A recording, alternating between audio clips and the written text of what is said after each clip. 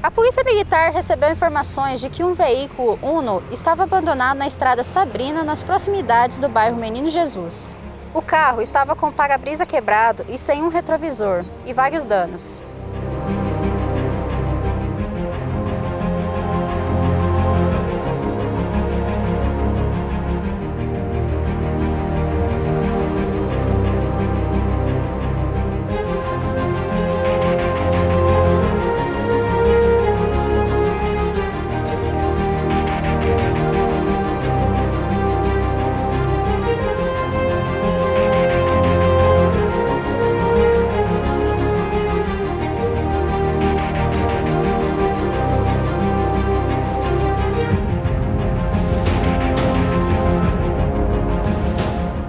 Foi repassado via Copom 190, de uma, através de uma denúncia anônima, de que um veículo Uno de cor cinza teria sido abandonado há uns dois dias ali na estrada Sabrina, no fundo do Menino Jesus.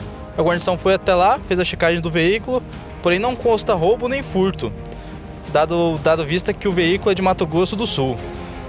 Não teve também como entrar em contato com o proprietário, fizemos a remoção do veículo e vai ser entregue agora aqui para a Delegacia de Polícia Civil para demais providências.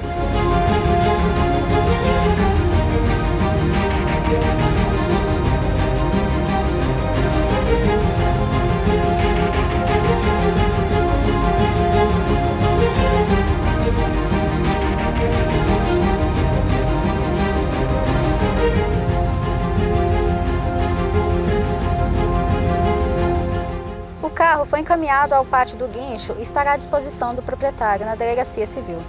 As imagens são de Francisco Herbert, Franciele Vieira para o Sinop Agora.